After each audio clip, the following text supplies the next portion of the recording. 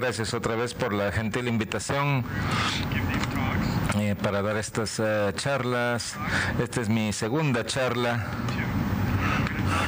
y me referiré al cáncer de tiroides en los niños. Entonces eh, voy a revisar la epidemiología del cáncer de tiroides en general y en los niños, un poco hacer de la patología del cáncer de tiroides, el diagnóstico, el tratamiento y el seguimiento.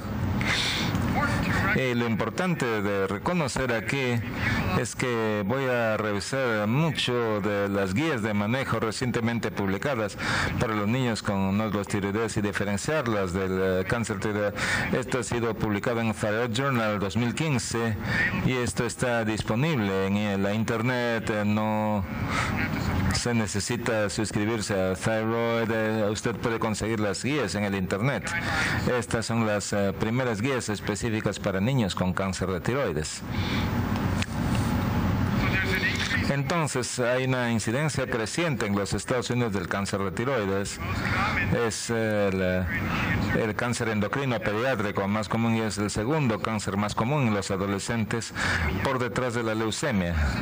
Los adolescentes tienen una incidencia 10 veces mayor eh, del cáncer de tiroides en comparación con los niños pequeños. En los adolescentes hay una mayor frecuencia de mujeres a varones 5 a 1. Esto se ve en la población adulta también, pero los adolescentes tienen una mayor eh, frecuencia de mujeres a varones de cáncer de tiroides y esto no se ve en los niños más pequeños. Los nódulos tiroideos en general son menos comunes en los niños, pero es más probable que sean malignos que los nódulos tiroideos en los adultos.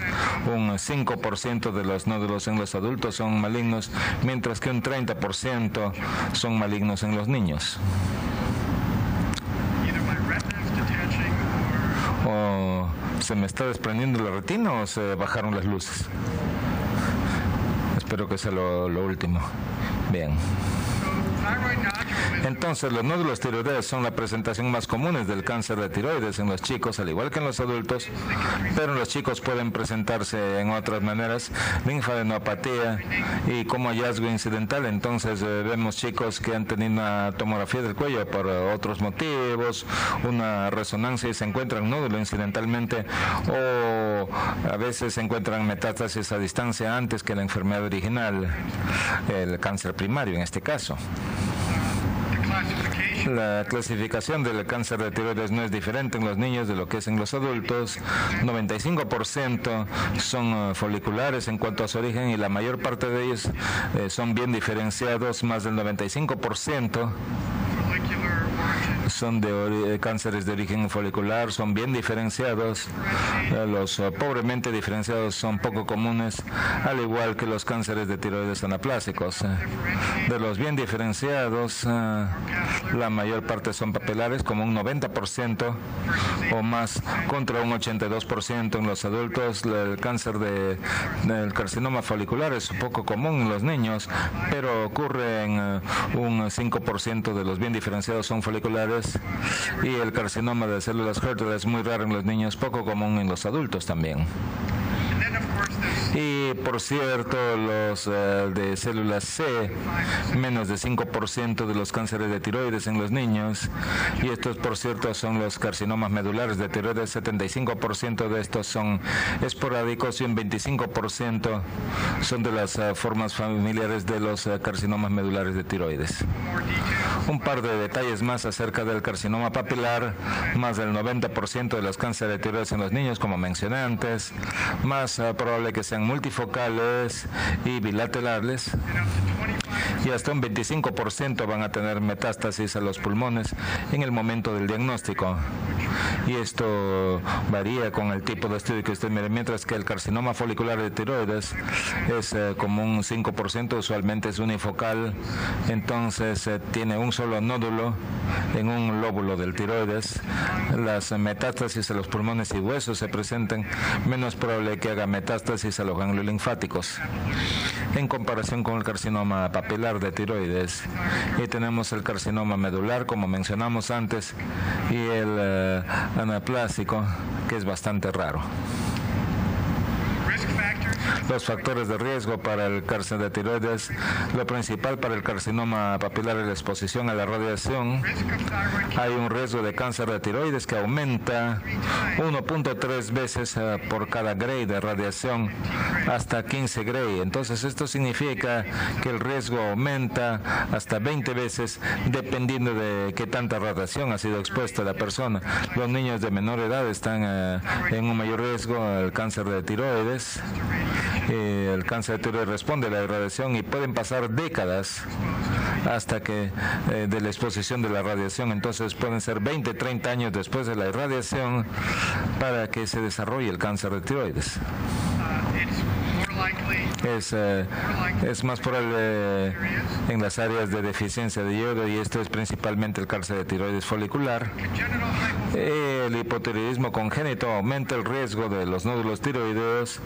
Existen algunas condiciones genéticas, algo llamado el síndrome de Pendred, con un mayor riesgo de nódulos tiroideos y un mayor riesgo de cánceres de tiroides y aún los eh, quistes del tirogloso pueden sufrir una transformación maligna. Y por último, aún la tiroiditis autoinmune aumenta el riesgo ligeramente para desarrollar un cáncer de tiroides. El cáncer de tiroides eh, medular es muy diferente de los otros. Hay una línea germinal, RT, una mutación RED que causa el cáncer de tiroides hereditario medular. También hay mutaciones somáticas que pueden causar un eh, cáncer eh, de tiroides medular esporádico. La mayor parte de casos son menos de 5 años, pero lo vemos en todas las edades. El 92% tienen una sobrevida a 10 años. Solamente hay un 60% para el esporádico y para el TC. El CA o el antígeno carcino embrionario es más eh, predictor que la calcitonina. Medimos la calcitonina, pero el carcino embrionario es más eh, predictivo en la respuesta y si es un carcinoma medular o no. Y por cierto, el cáncer medular es una característica del NTOA o B y es más familiar que el NTC. Esta es una diapositiva de una niña de 14 años que vimos hace un año y medio que llegó con una masa tiroidea. Y podemos ver acá este es el lóbulo izquierdo, este es el lóbulo derecho, no se ve tan bien. El istmo no está afectado, pero eh, se ve bastante feo aquí. Los lóbulos es eh, de origen bastante vascular tanto el lado derecho como el izquierdo son muy vasculares y usted puede observar acá que los nódulos que tiene esta chica aquí en la lengua también, esta chica tiene MN2B tiene un hábito marfanoide, noten estos dedos largos y delgados. Eh, tenía este hábito marfanoide, tiene MN2B, que tenía el carcinoma medular de tiroides y eh, incluía neuromas y tenía un freocromocitoma bastante leve también. Y me referiré acerca de otro paciente que es de 11 oh, años y 8 meses enviado a nuestra sala de emergencias por otra, de otra sala de emergencia porque encontraron otros nódulos pulmonares en la tomografía computarizada en la placa de tórax. Llega a esta emergencia por acortamiento de la respiración, se le toman una placa de tórax, le ven estos nódulos y luego le hacen una tomografía computarizada.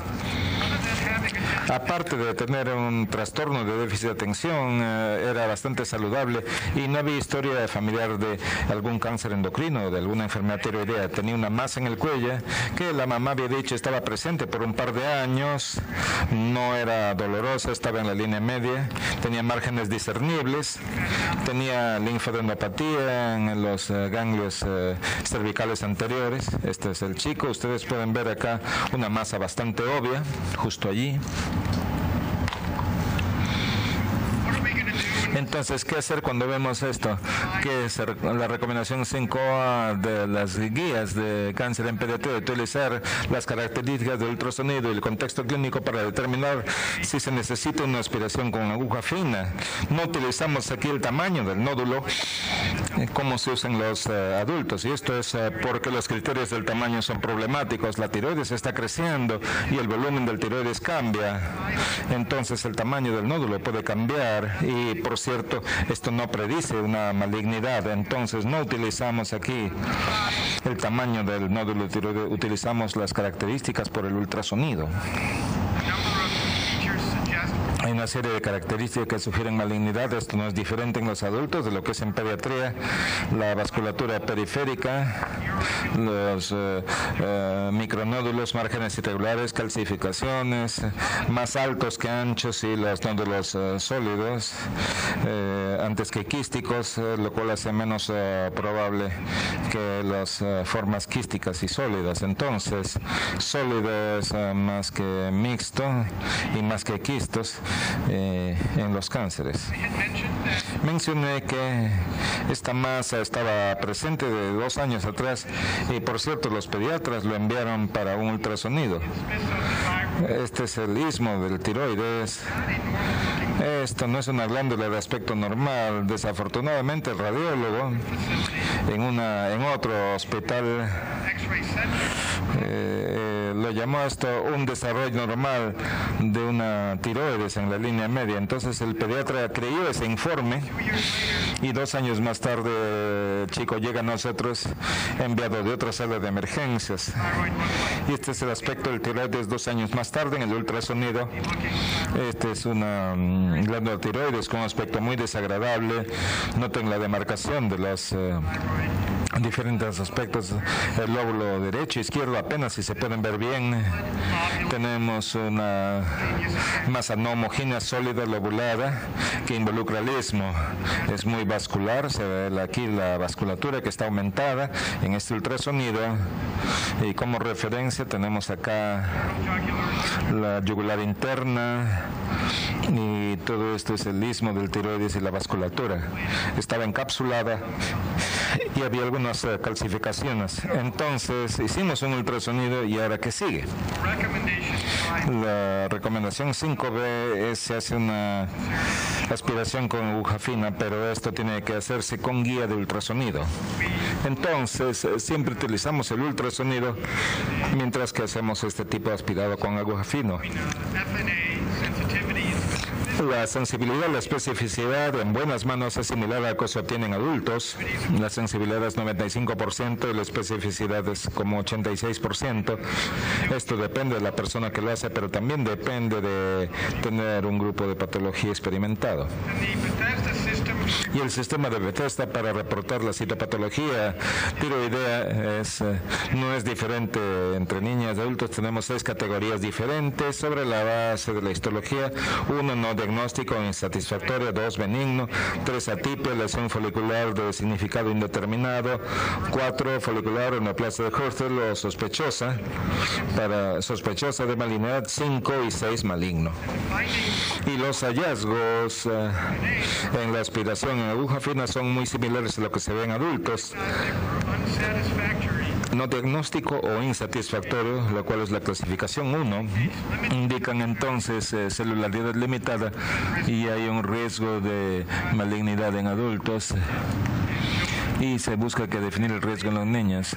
Entonces eh, hay una clasificación 3 hay un 28% de riesgo de malignidad en los niños. Entonces, de vuelta a las guías para el cáncer de tiroides, la recomendación 5 e eh, la lobectomía, esmosectomía se prefiere antes que una aspiración con aguja fina repetida para la mayoría de los nódulos con citología indeterminada. Lo que no está claro eh, es qué cosa está pasando acá. La citopatología eh, muestra indeterminada. Las recomendaciones son estirpar el lóbulo y el istmo de la tiroides. Una cosa que es común en los adultos y que no se hace en los niños es el análisis de las mutaciones y esto es porque no ha habido validación de los análisis de las mutaciones en los niños. Y muchos de los adultos que se ven en la clasificación 3 se hace posteriormente el análisis genético con asistencia para decidir que se hace la cirugía. Sin embargo, esto no ha sido validado para los sujetos pediátricos. La otra cosa acerca del ultrasonido es que seguimos a las lesiones benignas con ultrasonido seriado, repetimos la aspiración con aguja fina si se desarrollan características sospechosas, si crece la lesión y considerar la lobulectomía si es que el nódulo es mayor de 4 centímetros o si hay síntomas cosméticos o de compresión. Esa es la recomendación número 8 en las guías. Esta es la figura A1, la evaluación inicial del tratamiento y seguimiento de los nódulos pediátricos. Estas figuras que les voy a mostrar también están eh, disponibles en las guías.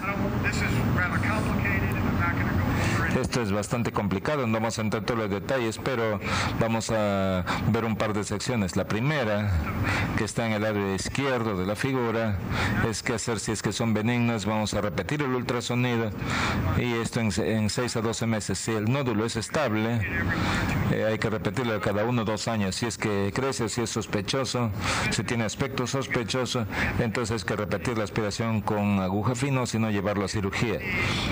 Si la biopsia muestra que es inadecuado, no diagnostica, repetir el ultrasonido y la aspiración con aguja fina en 3 a 6 meses. Y si se mantiene estable, entonces hacerlo cada 6 o 12 meses en adelante. Sin embargo, si el nódulo, si la biopsia es indeterminada o sospechosa, la recomendación es ir a la cirugía.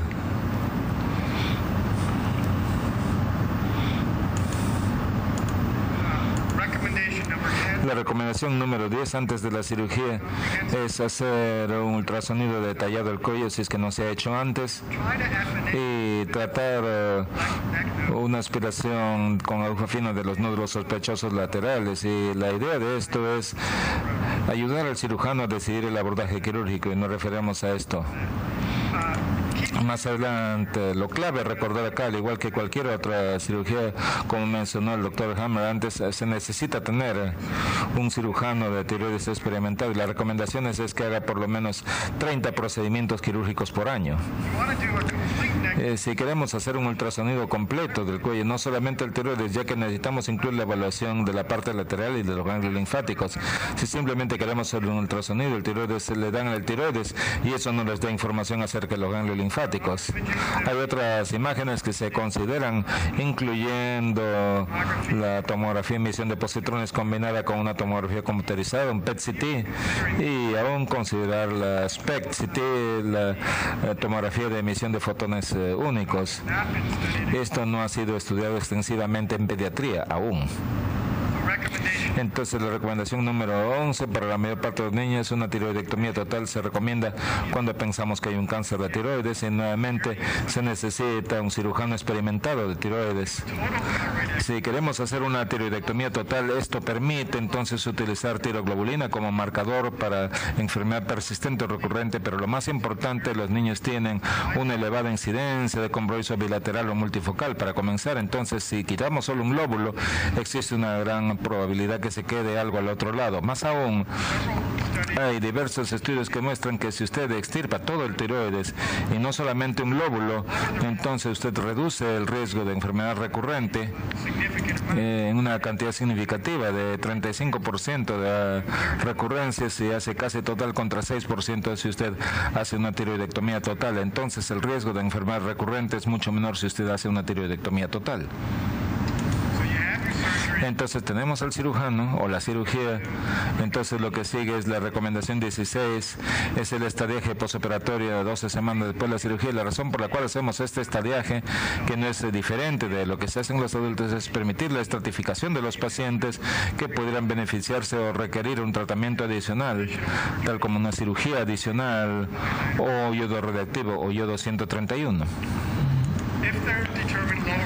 si se determina que hay un eh, bajo riesgo, la tiroglobulina supresora de TSH y de riesgo intermedio alto, hacer una tiroglobulina y yodo 1, 113, 123 y un scan de todo el cuerpo. Usamos el yodo 123 aquí.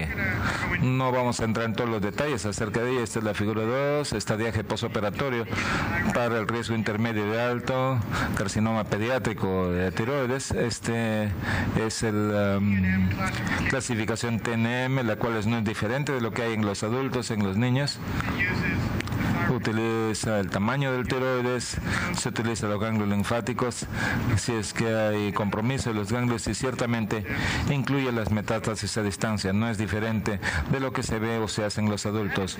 Pero con esta información, entonces clasificamos a los chicos con carcinoma de tiroides en tres grupos de bajo riesgo, el cual considera lo que está enumerado aquí enfermedad 1A y también esta tabla que nos dice cómo hacemos el estadíaje postoperatorio, la meta de la TSH y la vigilancia posterior. Esto es el riesgo intermedio y esto es el alto riesgo. Recomendación 17. Se utiliza yodo radioactivo para el tratamiento con yodo si es que hay enfermedad loco regional persistente o enfermedad nodular que no puede ser resecada y si se presume metástasis a distancia ávidas de yodo. Esta es la recomendación número 17. Entonces las indicaciones para el yodo radioactivo es enfermedad extensa no resecable en ganglios cervicales, evidencia de invasión de estructuras y metástasis a distancia. Y nosotros apuntamos para un TSH por encima de 30 que es similar a lo que se ve en adultos y retenemos la tiroxina durante por lo menos 14 días. Usualmente esa cantidad es suficiente. Tenemos que recordar que el yodo radioactivo tiene riesgos, algunos riesgos locales, tales como eh, problemas con las glándulas salivales, también puede aumentarse el riesgo de tumores de glándulas salivales y de leucemia, que también está en mayor riesgo. Entonces, no estamos usando yodo 131, eh, no es tan inocuo como se pretende. La supresión de TSH con el tratamiento con tiroxina mencionamos antes, está en la tabla, bajo riesgo, llegamos a punto 5 a 1, riesgo intermedio a punto 1 a punto 5 y en uh, alto riesgo menos de punto 1. Sin embargo, si uh, hay anticuerpos positivos para tiroglobulina, entonces no puede utilizarse, entonces seguimos la tendencia de la tiroglobulina con la misma prueba. Esta es la recomendación 23 en las guías. El punto clave es que la tiroglobulina y los anticuerpos siempre se trabajan en conjunto y se necesita que sea la misma prueba, eh, ya que hay muchas eh, diferencias en las pruebas de laboratorio a laboratorio. La tendencia de la tiroglobulina es más confiable que una sola cifra. Entonces, si la tiroglobulina se mantiene en 5, pero se queda allí, eso es mucho mejor que si es 2 a 5 y luego sube más allá de estos valores. Recomendación 21, después del tratamiento, un scan de todo el cuerpo, 4 a 7 días después del yodo radiactivo. Este es el, el scan con yodo 131 que hicimos en el paciente que presenté. Ustedes pueden observar acá.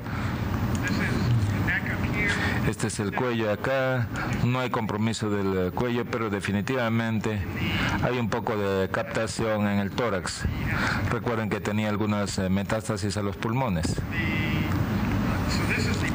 Entonces, este es el estudio posterior a la ablación. Eh, fue como tres semanas o tres días antes o cuatro días antes de esta investigación. Recomendación 24. Ultrasonido del cuello se utiliza para el seguimiento de los niños con carcinoma papilar de tiroides y hasta seis meses en adelante. Y estas son las eh, figuras 3 y la tabla 6 en las guías. Eh, se hace ultrasonido serial y completo del cuello y tiroglobulina, que son los indicadores más serios del estado de la enfermedad. Entonces es lo mejor para hacer seguimiento de la enfermedad. Un scan de todo el cuerpo, esto se hace a uno o dos años después del tratamiento con yodo 131. Y luego, una vez que el eh, scan de diagnóstico es negativo, se repite si es que hay enfermedad recurrente, si se sospecha ello. Entonces, esta es la tabla 6 otra vez. Y lo que subrayo acá es cómo los chicos eh, son seguidos, cómo es la vigilancia de los chicos, si es que se hace ultrasonido y qué tan a menudo, si es que se hace la, mide la tiroglobulina o la supresión, si se hace estimulación. Las pruebas de tiroglobulina, todo está enumerado aquí en la tabla 6. Este es el manejo de la enfermedad residual conocido recurrente. Esta es la figura 3 en las 10. Esto es bastante complicada. Y comienza si usted encuentra la tiroglobulina que está presente y la terapia supresora, se hace un ultrasonido del cuello y qué sucede después de ello. Esto depende de un par de cosas. Si el ultrasonido del cuello es positivo, usted quiere hacer una aspiración con aguja fina y considerar una tomografía, una resonancia y quizás la cirugía si el ultrasonido del cuello es negativo. Entonces, eh, lo que sigue es en base sobre lo que tuvo el chico antes con el yodo radiactivo previo. Y la recomendación 34, los niños eh, con cáncer de tiroides diferenciado deben ser seguidos de por vida, pero con menor intensidad en aquellos que no tienen evidencia de enfermedad. Lo que nosotros sabemos es que hay más recurrencia en los chicos que en los adultos, como mencionamos antes, y menos de 10 tienen un mayor riesgo de recurrencia. En general, el carcinoma papilar, la recurrencia es como 30% y la recurrencia puede ser bastante prolongada, puede ser como 40 años después del diagnóstico inicial. Entonces, estos chicos van a ser seguidos por un endocrinólogo pediatra hasta que tengan 18, 21 años y luego los, por un endocrinólogo de adultos como ustedes en adelante por un tiempo bastante prolongado. Básicamente van a ser seguidos de por vida. Y aquí llegamos. una vez más quiero agradecer a la Sociedad de Endocrinología, Sociedad Peruana de Endocrinología, la jefa de mi división que juega un papel muy grande en mi carrera, la doctora Mauras. Muchas gracias por vuestra atención. Thanks, Professor.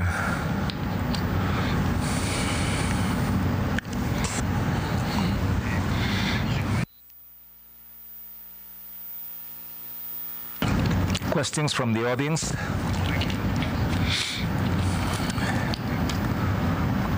Questions from the audience? Anybody has a question? There's a question.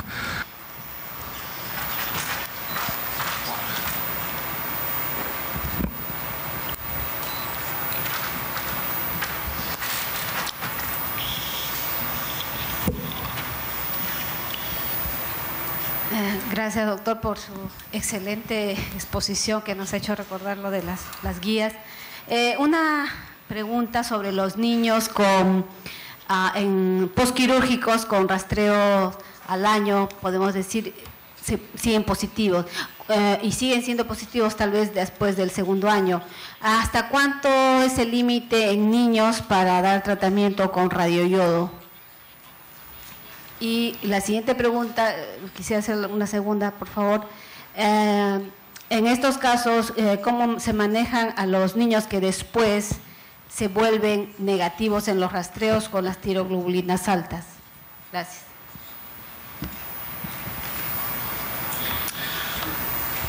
So, two questions. Uh, the first one, if I que entendí correctamente es cuál es eh, la máxima cantidad de yodo radiactivo que se puede administrar y la respuesta para ello en algunos casos el yodo radiactivo se dosifica sobre la base del tamaño del tiroides pero en pediatría eh, muchos utilizan una dosis única. Elevada en nuestra institución se utiliza 150 milicuríes y dejamos el yodo en cantidades máximas y esto lo dejamos a los eh, radioterapeutas, a los oncólogos radioterapeutas. No conocemos la cantidad exacta, pero recuerde que será menos que en los adultos porque eh, ellos eh, tienen un tiempo mayor de vida para ser expuestos al yodo radiactivo.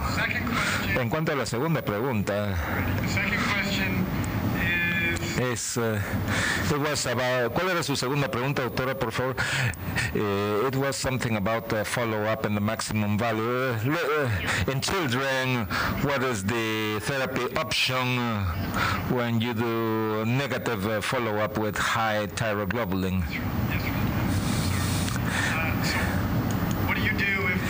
¿Qué hacer si la globulina, tiroglobulina es alta en el seguimiento? Eh, puedo mostrar esto en una diapositiva justo aquí.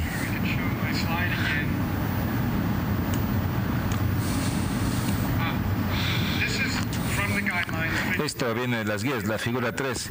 Y básicamente es en el proceso lo que usted hace cuando la tiroglobulina es elevada, mientras está en una terapia supresora. Hay dos cosas a recordar. Lo primero es la cifra absoluta no es tan importante como la tendencia. Entonces, si usted eh, tiene, eh, yo sigo a un paciente de 20 años que tiene niveles de tiroglobulina que han sido 5 todo el tiempo.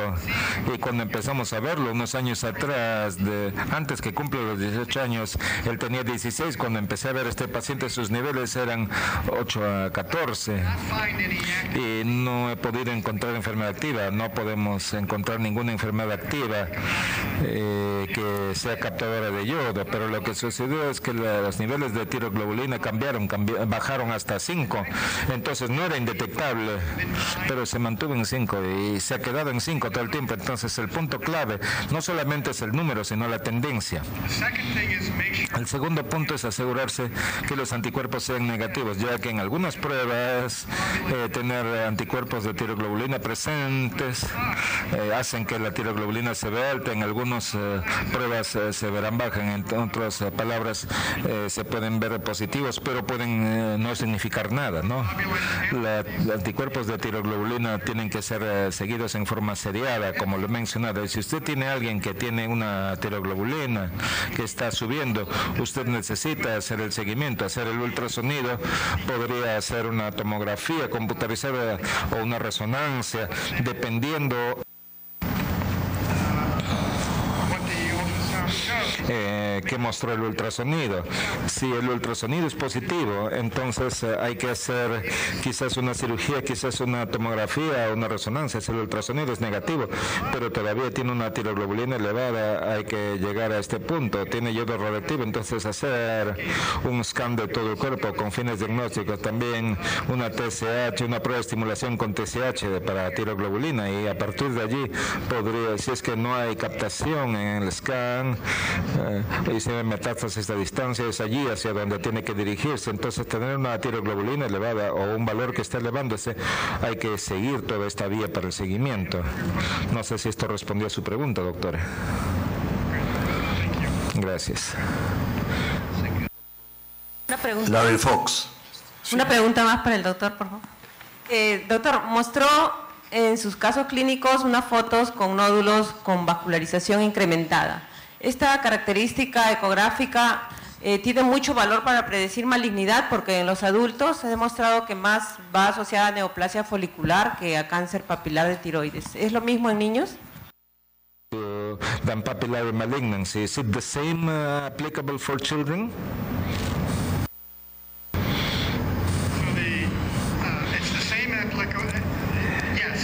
Sí, la respuesta es sí. Eh, usted no puede determinar con certeza, con las características del ultrasonido, si es papilar o tiroideo, ¿cierto? Esto es cierto en adultos y en pediatría. Entonces, eh, usted eh, ve qué tan vascularizada estaba esta tiroides. Este, es una glándula tremendamente vascularizada y si usted mira esta, esta es una glándula muy vascularizada, pero este niño tenía un carcinoma medular del tiroides. Entonces yo no creo que la vasculatura o la vascularidad nos ayude para determinar qué tipo de cáncer es, así el saque, pero tener una gran vasculatura aumenta el riesgo que se trate de un cáncer. Uh, presentar eh, la segunda conferencia al doctor Gary Hammer,